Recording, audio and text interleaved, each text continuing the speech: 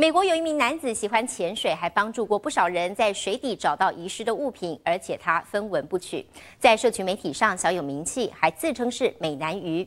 最近有一名女子在加州的一处湖泊游泳时，手上一枚价值约三十万台币的婚戒不翼而飞了。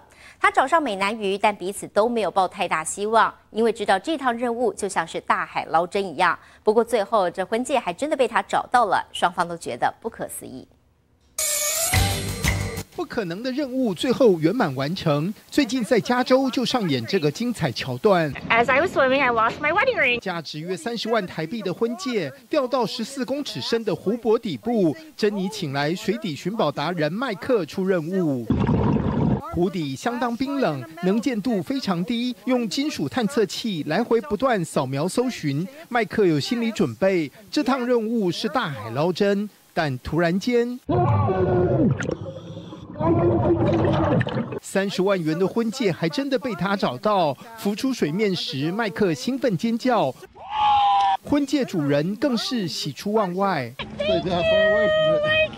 麦克坚持原则，不向对方收取费用，但珍妮还是塞给他两百美金作为答谢。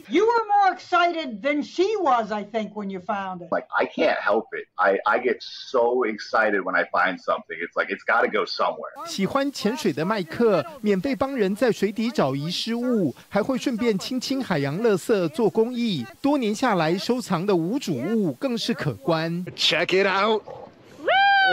不可能的任务未完待续。刘永伟编译。